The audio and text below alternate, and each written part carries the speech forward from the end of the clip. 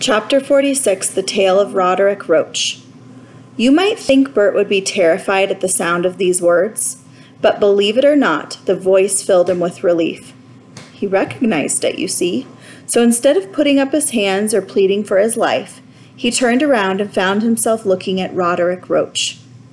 What are you smiling about? growled Roderick, staring into Bert's filthy face.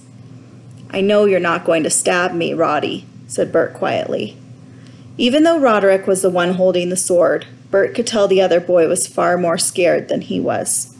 The shivering Roderick was wearing a coat over his pajamas, and his feet were wrapped in blood-stained rags. Have you walked all the way from Chouxville like that? asked Bert. That's none of your business, spat Roderick, trying to look fierce, though his teeth were chattering. I'm taking you in, Beamish, you traitor. No, you aren't, said Bert, and he pulled the sword out of Roderick's hand. At that, Roderick burst into tears. Come on, said Bert kindly, and he put his arm around Roderick's shoulders and led him off down a side alley, away from the fluttering wanted poster.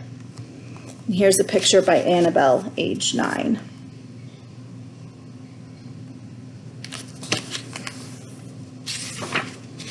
Get off, sobbed Roderick, shrugging away Bert's arm. Get off me, it's all your fault.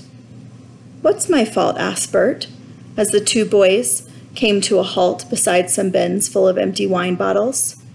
You ran away from my father, said Roderick, wiping his eyes on his sleeve. Well, of course I did, said Bert reasonably. He wanted to kill me.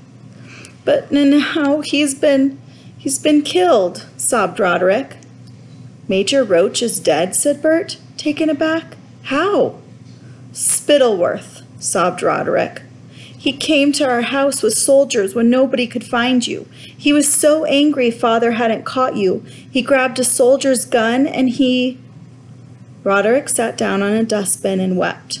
A cold wind blew down the alleyway.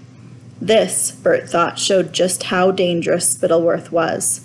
If he could shoot dead his faithful head of the Royal Guard, nobody was safe.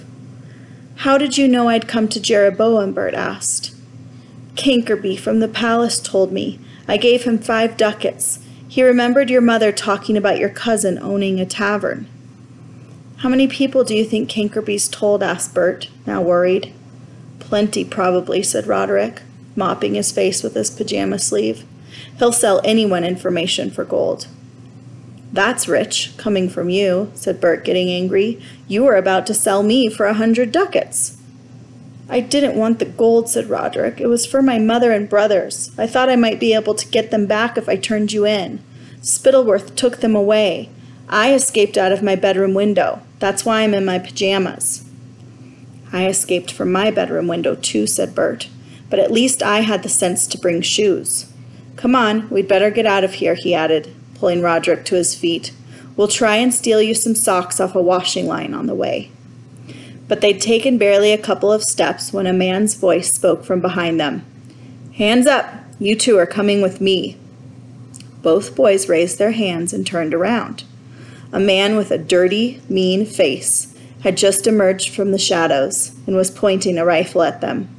He wasn't in uniform, and neither Bert nor Roderick recognized him. But Daisy Dovetail could have told them exactly who this was.